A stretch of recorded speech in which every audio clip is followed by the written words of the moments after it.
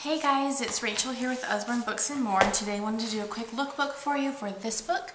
It's Where's Will and it's Find Will Shakespeare in His Plays. It's a really, really cute book.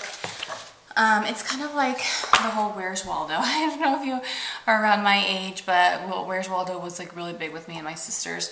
Um, we had a ton of uh, fun looking on each page trying to find him. So this is a similar concept except it's also introducing your kids to Shakespeare's plays, which I think is really cool. One really good thing that Usborne does is um, transitioning into your older children, getting them into um, real nice literature. So, you know, we have a lot of like our illustrated classics, um, which are great ways to introduce your kids to some classics as well. um, but I'm just gonna go through these real quick for you. So it's got several plays here. You can go ahead and pause it if you want to take a look. But, you know, it's got Romeo and Juliet, Hamlet, The Twelfth Night, a bunch of others, just 10 total. Um, so for each play, there's four, four pages. And what it does is it kind of summarizes the play.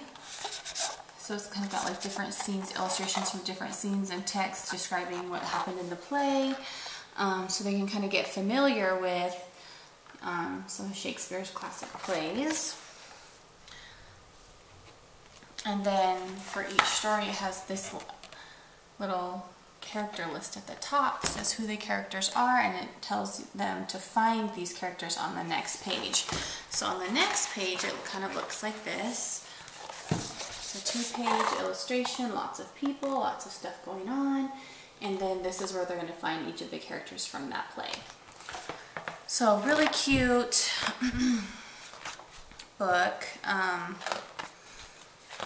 that's going to not only, you know, educate your children as to Shakespeare and his plays, but also keep them interacted in their books and give them something to do to keep them, keep their nose in the book, which is what we're all hoping for, right? This is Macbeth. You can see it's really um, gloomy, gloomy illustrations.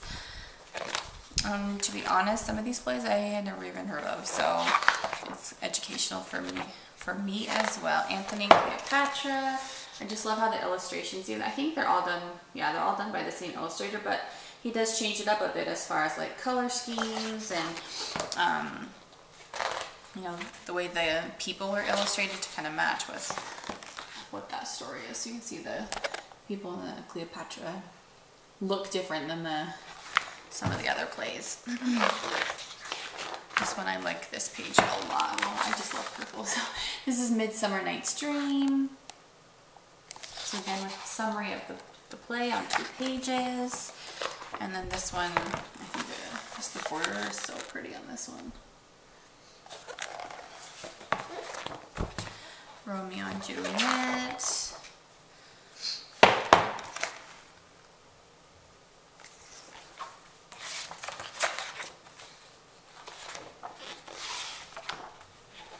Hamlet. I think Hamlet's the last one. Yeah, Hamlet's the last one. And then there is an answers section, so it's got each of the illustrations for the play and they're kind of darkened, but then it's light around the characters that they're supposed to find in case the kids get stuck. Can help them out. so that's pretty much it. Really, really cute book. Um, pretty pretty detailed illustration so it's going to be good for your you know 8 to 10 year olds as well as your younger kids if they're if they're interested in that. So see you next time. Bye